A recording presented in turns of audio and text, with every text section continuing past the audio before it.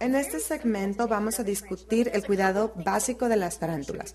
Es muy simple cuidar a una tarántula, pero hay varias cosas que tienes que considerar. La principal es que tu tarántula no debe de estar expuesta a la luz del sol directamente. Ya que las tarántulas son animales nocturnales, las tarántulas prefieren un área que esté oscura y no la luz directa del sol.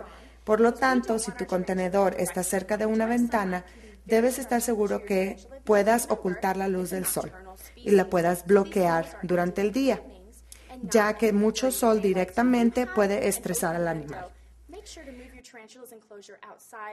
La otra cosa importante a considerar es la temperatura. La temperatura es muy importante porque la mayoría de las tarántulas se encuentran en el desierto o en hábitats tropicales, lo que significa que la temperatura y la humedad deben de ser elevadas. Por lo tanto, si tú tienes un área fría como tu sótano, a lo mejor este no es el lugar ideal para tener a tu tarántula. En cambio, si tu recámara es más calientita, este es el lugar ideal para tenerla. Si tu única área donde puedes tener a la tarántula es en un área fría, no te preocupes porque tienes opciones. Puedes, puedes encontrar una roca para calentar a la tarántula o luces artificiales que den calor. Además, las tarántulas necesitan humedad.